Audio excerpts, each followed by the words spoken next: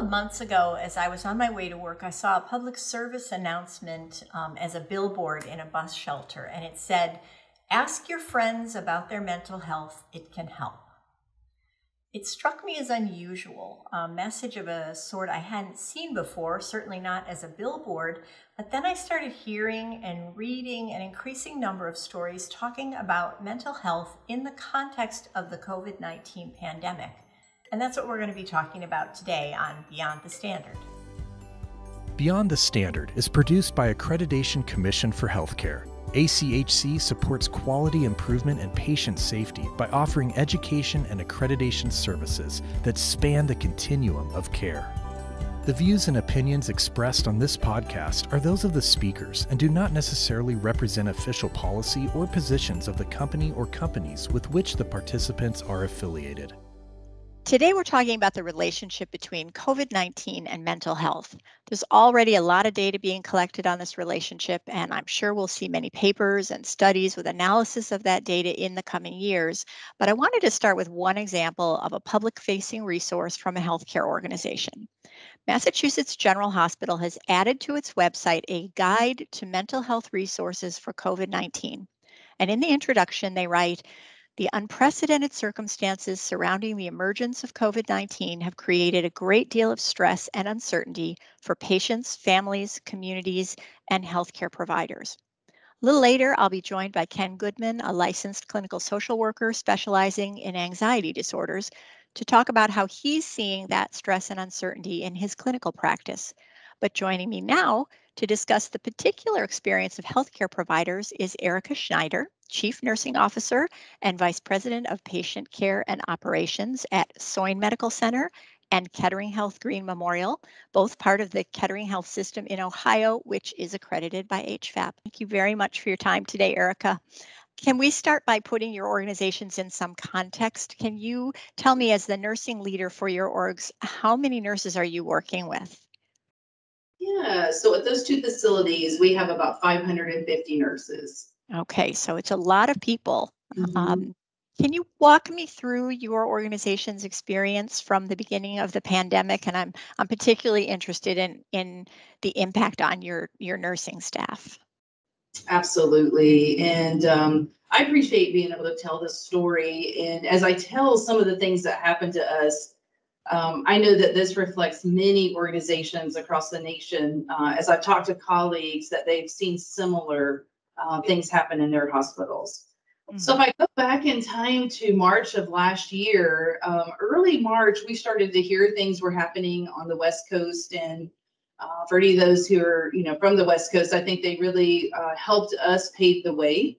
We would reach out and, you know, hear the stories of what they were dealing with, which helped us have a little bit of time to prepare. Mhm. And then all through the summer, we had, you know, it would ebb and flow up and down. We started to learn a little bit more about COVID. Um, some of the things we thought we needed, we didn't need, and some things we were like, oh, we need more. Uh, even masks and things like that. Really, I'm proud of our uh, material management team, how they started resourcing around the world of trying to stay ahead on the PPE and make sure we had what we needed, which was a very good thing because come October, November, we went from about 70 patients to 263 patients. And so it was almost four times the amount of patients that we had been taking care of. And so that surge was really, um, it almost was overwhelming in moments of how many patients were coming in uh, at a time. And one of the ripple effects, uh, about 40% of my larger hospital at one point was full of COVID uh, beds and patients. And so we went from, you know, a few to 40% of the beds had COVID patients. And with that, we had team members, when you talk about the mental health toll, we had team members who, you know, thank goodness had been taking care of these patients for a while, but you kind of start to see an ebb and flow of the work and what's, you know, the resources and what's occurring on your shift. And then when November hit, that surge, I it became like I that that flow is no longer going to work for the the amount of patients that we had. Um, we had a couple units that uh, had typically taken care of healthy cardiac patients that we turned it into a COVID unit. That entire unit was full. And many of the nurses who worked there had never experienced um, a patient die before. Uh, the majority, Really? of, yeah, the majority of their patients were healthy, uh, cardiac, coming in for a test or a rule out, or you know, being worked up for future um, diagnostics. And the again, these these staff members said, "Yes, I will do this work. I'll I'll accept this calling." And they had no idea uh, of what that would take. So we lost a lot of patients, unfortunately, to the illness there. And so, with that, just the emotional toll that it took on the staff, uh, we had chaplains come in and different people uh, work with them, uh, but they would go home. And, you know, I, I guess, Angela, the other part that's really sad when I talk about going home is a lot of them would stay way away from their family. They would Sure. Afraid to, you know, even though they're changing clothes, they're using proper protocols, they're being as safe as they can be. Uh, the fear, the public was very afraid, families were very afraid, and then they have children or grandparents in their home. And so they would stay isolated, which furthered uh, just that stress toll on the team. So at work, it's stressful. And then normally to go home, you have that um, support system who helps you de stress and you talk about your day. And that was not as full um, as it had been. So we worked on ways to, you know, help support them with uh, therapists to come in and, and, you know, just do little things, but um, things that would try to support them so they could be heard and listened to. And I think one of the other things that was eye opening to me, and I, you know, I hate to admit it, but I was kind of taken aback, is that some of the nurses didn't even come to the sessions that we provided for them because they had a hard decision to make. Uh, do I stay for this session and, and take care of myself, or do I go home and take care of my family? Uh, at the same time, you know, school's not in session. And so they are teacher, their mother, their dad, uh, their parent, um, spouse, all of that. And so it just really hit me that this is going to take a very long time for our team to really get the, the, the support and the help that they need um, to process what all has occurred to them. We've all heard that maxim of, you know, put your own mask on first. And it is so difficult to do. And, and what I'm hearing you say is it is particularly difficult for healthcare providers. Um, eh, so I'm wondering, were you able to model self-care or, you know, what what did the leadership do to encourage people to take care of themselves? Hmm, that's a great question. Probably not enough in the beginning uh, when we were all working so hard. Unfortunately, we can model behavior that people then cascade down. Uh, we realized quickly that that is, we're going to burn out our staff. We had a couple of our ICU team members uh, reach out to their leader, who then reached out to me and immediately went right to my heart that they were needing time off they were needing uh, additional support and being away from work, um, they would have nightmares about uh, the alarms and not being able to get to the patients. And as I read that, I it went right to my heart of we have to do more. We have to be we have to do better. Um, Mhm. So we worked with if you need time off, take time off. Uh, even though we were drastically short personnel, we had a lot of our own staff get COVID. Excuse me. Really? Yeah, at one point, we had hundreds of our staff out on quarantine or being positive. So they're either being worked up that they were exposed, uh, you know, in the community, or uh, you know, possibly had it uh, themselves. And so we we had that double squeeze of not enough staff, but we also need you to be off and be whole.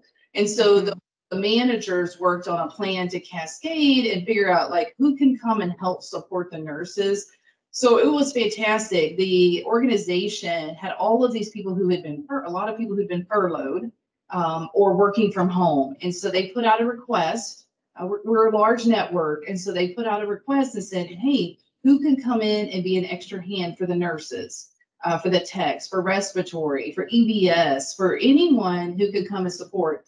overnight, I think it was like a hundred volunteers that said, we will come and help uh, do whatever is needed. So we made a list of everything they could do to help support the nurse, again, so that people can take time off. And then the, the people that are here uh, aren't just doing more work, you know, instead of the four to five patients, now you have seven or eight. That just doesn't work for the patient or for Mhm. the nurse, but to have this person to come and extend and be like an extra hand to them. So we had that, them come in and help them. And then I would say in November, December, when it is really, um, we were in that high surge, we started to really make sure the managers were taking time off so that they were role modeling for the nurses to take time off. And, you know, the studies show when you're not physically or mentally at your best, you make more mistakes That's And- right. we did not want to have just that downward spiral of care for the staff or for the patient. Course. We definitely, um, we, we met early this year. Uh, again, January was still, um, a high, you know, high volume of COVID patients. And so the nursing leaders all met across the company, uh, with our HR leaders and just really did sessions on listening to what has occurred in the hospital and how do we help. Because if you were furloughed or if you're working from home, you really could not see what was happening. You could hear the stories or you could hear from your friends, but unless you see it, you really don't understand the full impact of that feeling. And I heard this from many nurses the feeling that I came to work today to do my best and I couldn't do my best.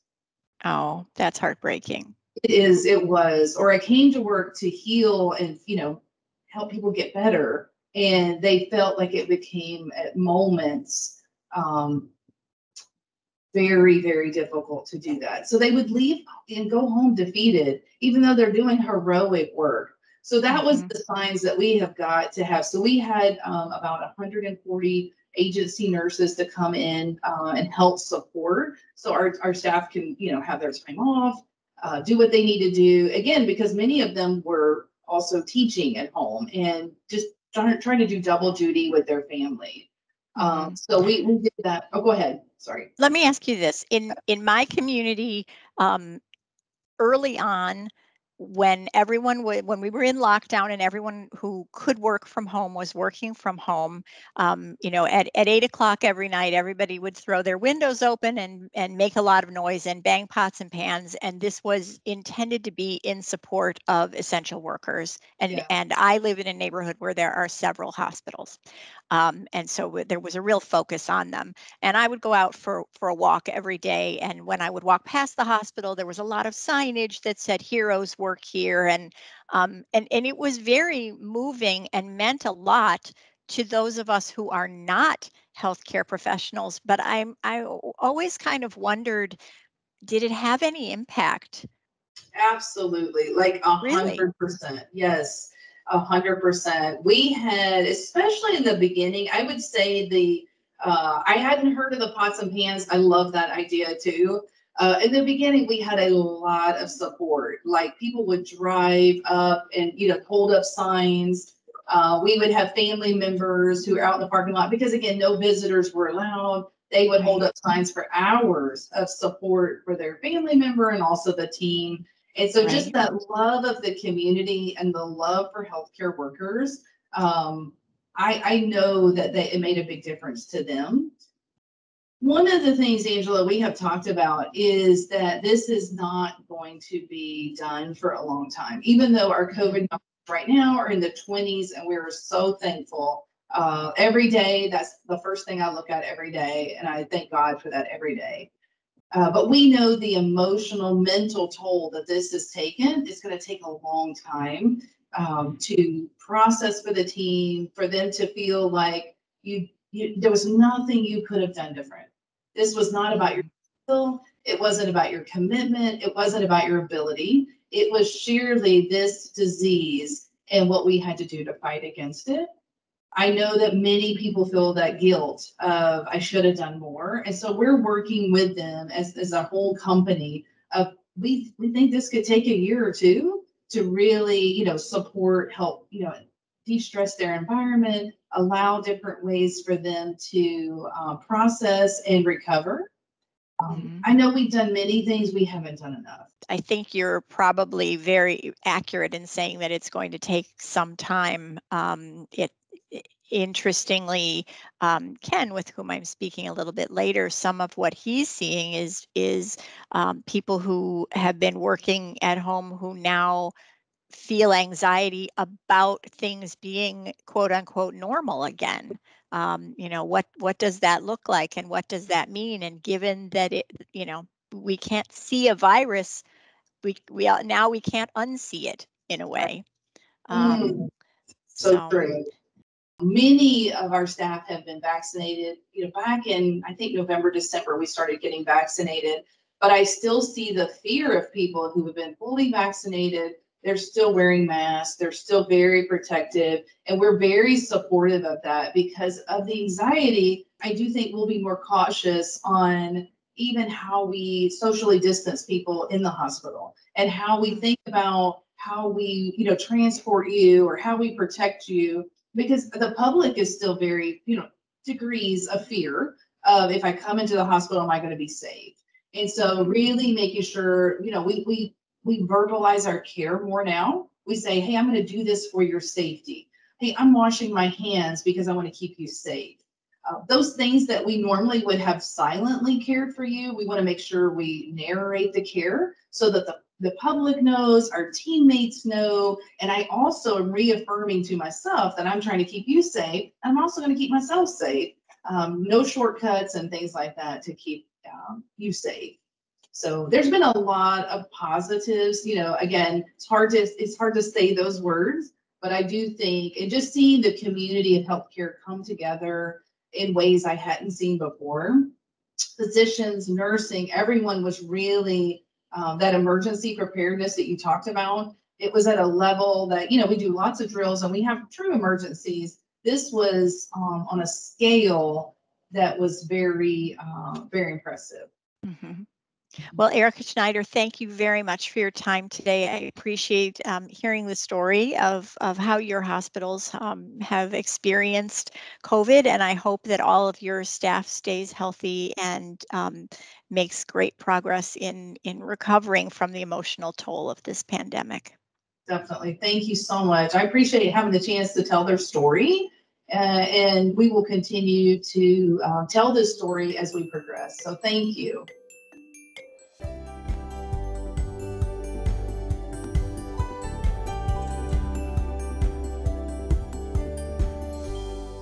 Joining me is Ken Goodman, a licensed clinical social worker who specializes in the treatment of anxiety disorders. Ken sits on the board of directors for the Anxiety and Depression Association of America and is the founding director of QuietMindSolutions.com. Ken is an author and speaker who, in addition to working with private clients, has developed some really interesting resources available to anyone, including a 12 hour self help audio program called the Anxiety Solution Series Your Guide to Overcoming Panic, Worry, Compulsions, and Fear, as well as a self help coloring book. We've put links to his website with these resources and others in the notes for this episode of the podcast. Ken, thank you so much for taking time to talk with me today. Oh, pleasure to be here. Thank you for inviting me. Yeah.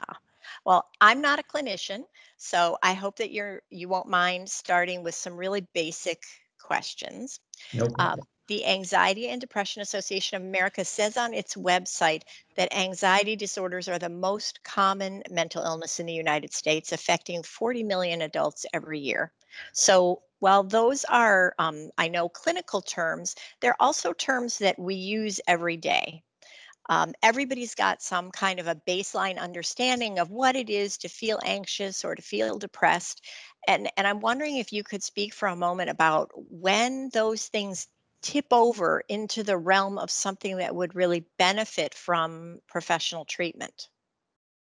Yeah, anxiety is a normal emotion that people will experience from time to time. But when it begins to interfere with your life, it interferes with the quality of life. You end up avoiding things, missing things. Um, when it interferes with your job and your family, there is regular uh, worries and fears that take place, it's probably time that you seek help.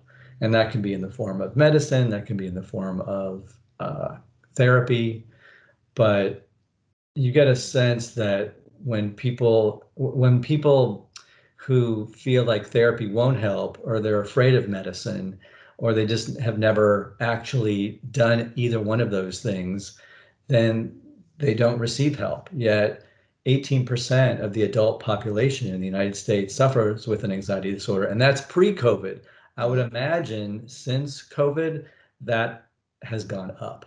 Yep. So you, you teed me up perfectly because I was going to say that um, the CDC recently uh, reported on a study that dates back almost a year now, um, in which they found that 30% of respondents reported experiencing at least one adverse symptom associated with anxiety or depression that they specifically related to the pandemic.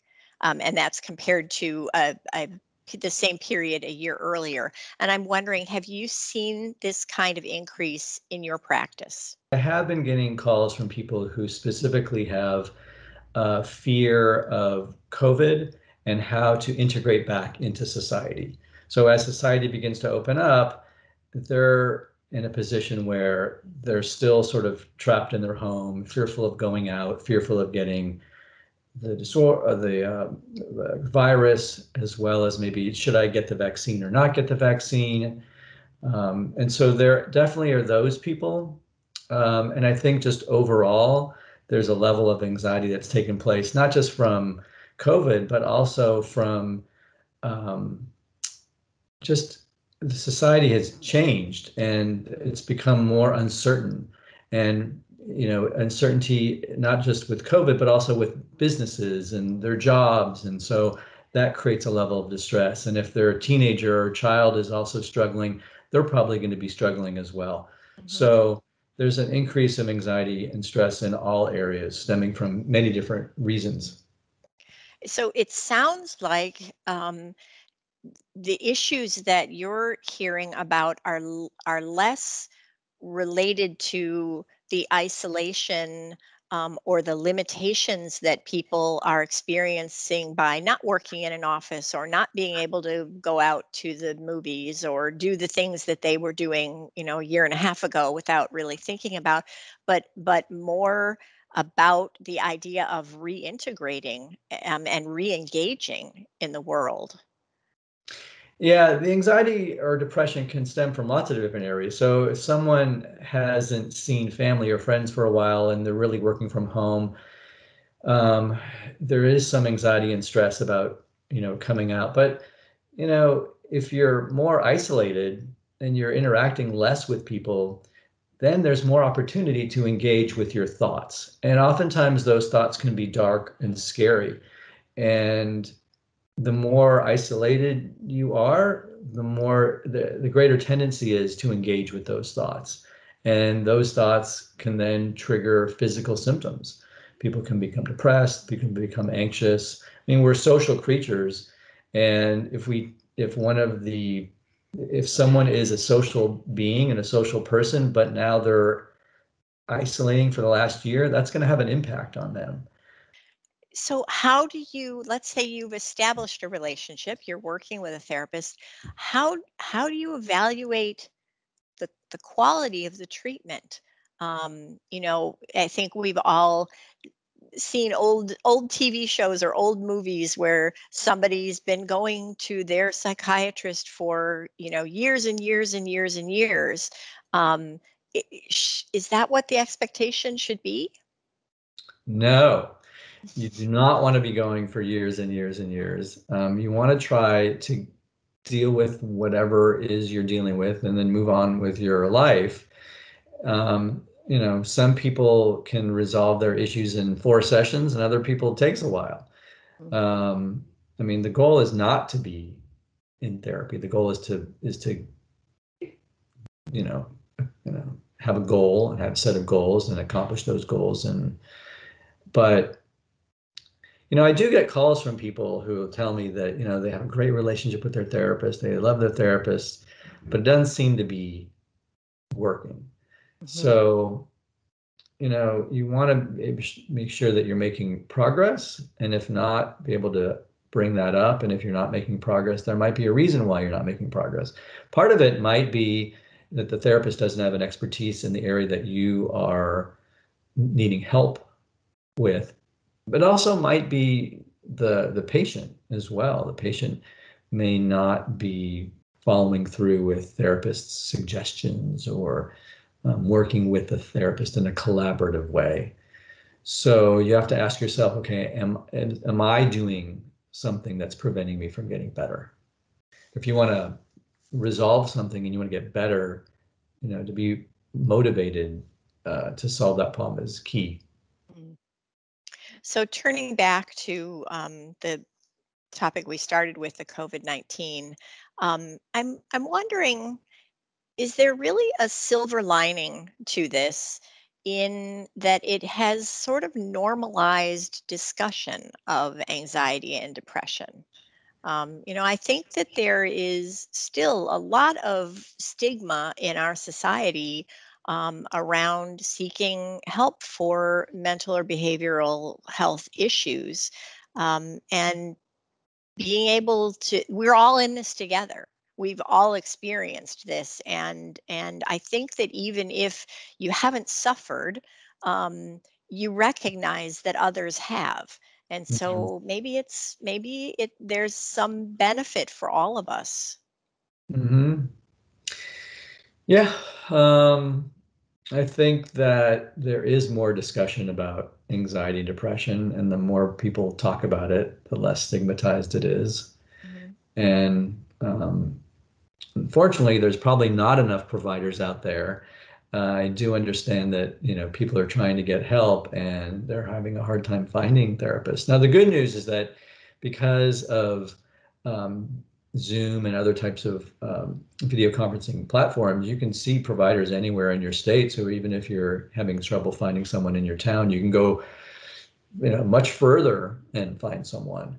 Um, prior to this, very few therapists were using telehealth and now everyone is. So even if you live in a rural area, you can search and find people. And then there's a lot of self-help, like the Anxiety and Depression Association of America has a lot of videos and webinars and articles. Um, there's great books out there, and you know it's not good enough just to read the book. You need to again collaborate with the material well, great. Well, thank you. This has been really interesting, and I appreciate your time so much. And um, look forward to talking to you again.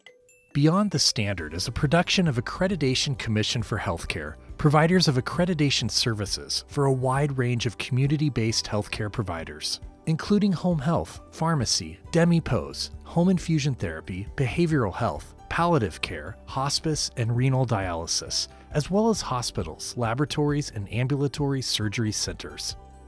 Each episode of Beyond the Standard takes a look at an impactful idea for healthcare provider organizations. We're especially interested in those that help organizations improve as they seek to meet the needs of their communities and the patients that depend on them. ACHC is by providers for providers. Before you go, share your feedback by leaving us a review on Apple Podcasts and check out our schedule so you don't miss upcoming episodes. For more information about ACHC accreditation, visit achc.org. While you're there, you can subscribe to this podcast and sign up for our newsletters.